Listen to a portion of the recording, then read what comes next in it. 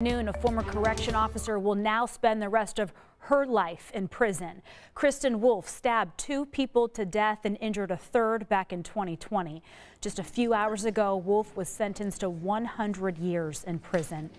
You can see family and friends hugging after that sentence was delivered. Wolf was a prison guard in Madison County when she stabbed Victoria Cook and Dylan Dickover to death.